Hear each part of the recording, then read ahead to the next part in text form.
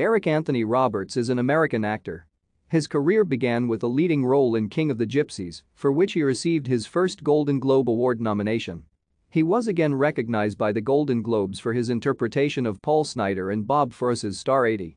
Roberts' performance in Runaway Train as prison escapee Buck McGeehy earned him a nomination for a third Golden Globe and a nomination for an Academy Award for Best Supporting Actor.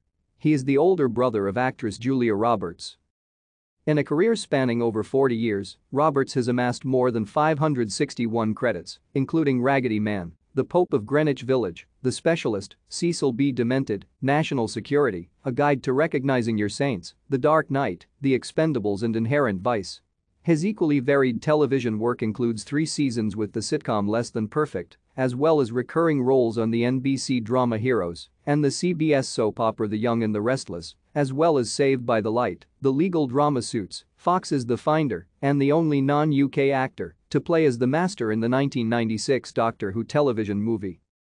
Roberts was born in Biloxi, Mississippi, to Betty Lou Bredemus and Walter Grady Roberts, one-time actors and playwrights who met while touring a production of George Washington Slept Here for the Armed Forces. Thank you for watching. Like and subscribe if you would like to view more of our videos. Have a nice day.